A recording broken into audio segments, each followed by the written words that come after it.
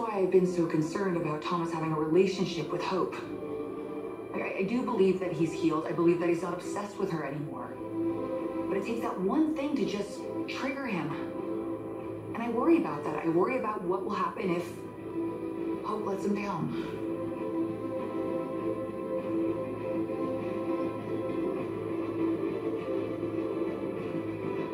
Hi, friends. Welcome to another bold and a beautiful recap and review.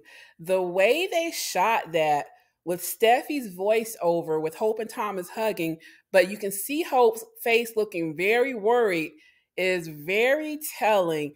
I think Hope is realizing that she is in over her head with Thomas.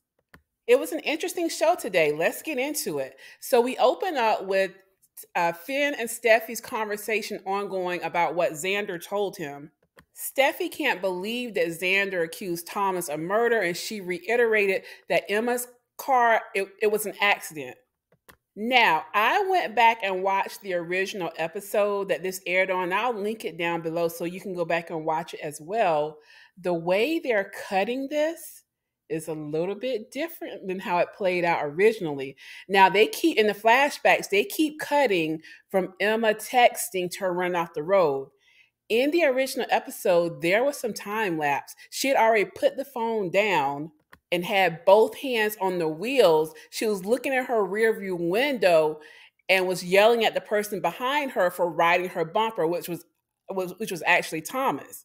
And then she ran off the road. So that's where the fan wars I was talking about the other day came in because of how it was shot when it originally aired. They're playing it back differently. They're cutting out a lot of that scene to condense it.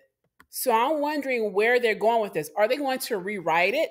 Or are they going to have Finn dig and find out that Thomas was behind her, riding her bumper, which somewhat may have caused her to drive erratically? Right now, Finn is being very adamant that they need to keep their eyes on Thomas and to watch out for him to make sure that he doesn't backslide. Ecstatic, Douglas would be, right? Take your time. Okay? I'm not going anywhere. My eye will never wander to another woman. Because for me, it's only you, Hope. Only you.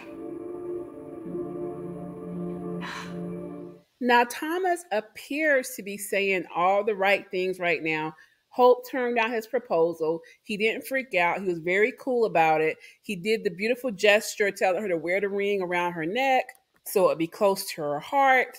She did tell him that she did not want to do that today because she wanted that to stay between the two of them so everybody else wouldn't freak out. Now, here's my thought, and I want to know what you think does all of this seem a little bit manipulative? Because you see, he's back to talking about how Douglas would be happy if they get back together. He's making sure to bring up that he only has eyes for her because he knows that's a big point with her with Liam's divided heart.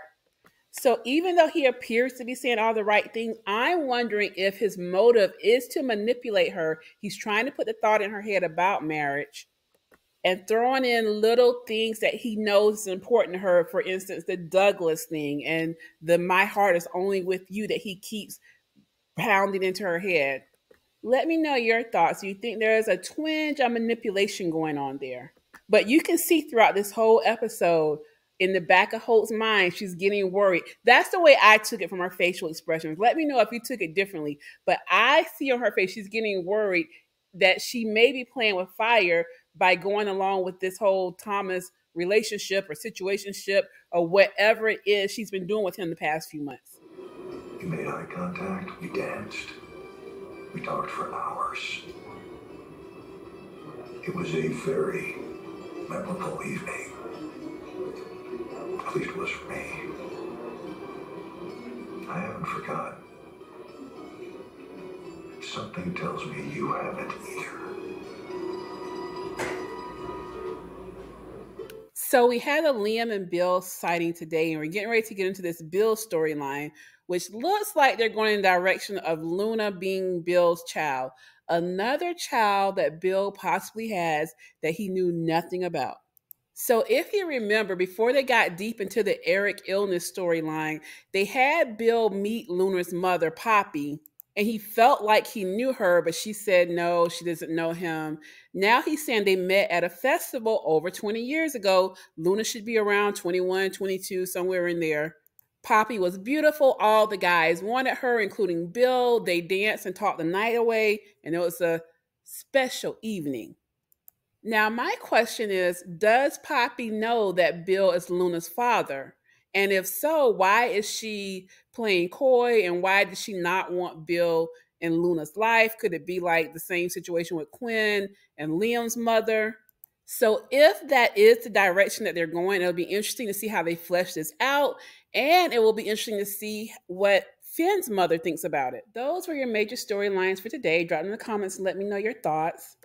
Thanks for watching, and please share the video with any other bold and beautiful fans that you know out there. Please don't forget to like, comment, follow, or subscribe, and I will catch you on the next one.